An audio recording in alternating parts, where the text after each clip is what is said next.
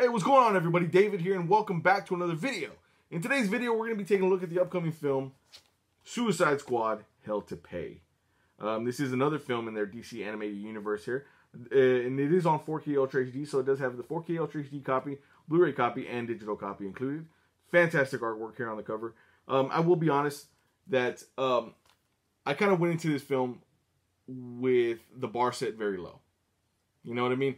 I, I, I was kind of I, was unsure to be perfectly honest because some of the, the some of the characters in this movie, um, I wasn't uh, shockingly enough, I wasn't really that knowledgeable about. Um, but in all honesty, and I'm gonna be perfectly like straight with you guys, it was very surprisingly good. Very good. Um, probably one of the better uh, DC animated films in a good while, and that says a lot. That says a lot.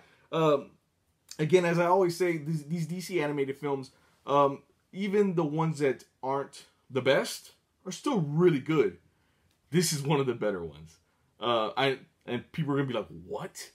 Even uh, a buddy of mine, I was telling him about uh, just yesterday, was like, "Suicide Squad, really?" I'm like, "Yeah, it really is." Um, this is it is rated R, and I feel like the tone is perfect for a Suicide Squad movie. This is I'm, I'm going to kind of speak maybe out of turn here, but I do feel like this is probably the tone that the Suicide Squad live action movie should have taken. Um, it's very violent, very gory, very graphic. Um, and I, I think that kind of goes very well with Suicide Squad. Um, now, I'm not one of those advocates that, that are always like, oh, every superhero movie needs to be R rated because it doesn't. They really don't. But this one does lend itself to that very, very perfectly. Um, and without giving too much spoilers or any spoilers away, mind you, because uh, I think I, I, am gonna try to do a, a Blu-ray buyer's guide for this. So if I do, then I'm gonna go in depth and talk some spoilers either then or in my next update video. But without giving any spoilers away, there is a nice, very surprising uh, twist to this movie. And I think if you watch it, you're gonna be like, "What?" Because that's what I did. I was like, "Whoa, hold on!" And it, it, it is a, I'll say it's a it's a first. Uh, it's it's one of those instances. It's like a first timer for this movie. And again, I'm trying not to. I'm trying to be very vague as possible, but I think you guys will be pleasant, pleasantly surprised. Um, great cast, uh, great cast of character, voice actors, and things like that. Fantastic. Um, as you see here, here goes the back here. If you guys don't know what it's about, now I, I will say that the MacGuffin, uh, the aka the thing that they're going after in this movie, is a little odd.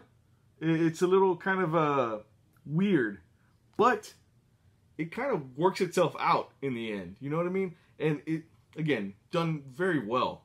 Um, and if this is the tone that they're going for for any other Suicide Squad movie going forward, animated movie, um, I'm all for it. I think I, I would love to see a series of, of, Suicide Squad animated films, and maybe even the, the live action movie might take some notes from this. That's all I'm saying. Anyway, let's go ahead and pop this open. Um, all right, you see here goes slip cover. I mean the slipcover, the, the actual case here, and then here goes the back again. Pretty much the same as a as a slipcover. All right, does have digital copy, as well as one of those your opinion matters type of things. Um, and then here goes the disc here, Blu-ray on this side, 4K on this side, and that's the other thing. It looks fantastic in 4K. these animated films lend themselves lend themselves very nicely to 4K, um, and I do like uh, this disc art though on the Blu-ray. 4K doesn't usually have any disc art uh, for these animated films anyway.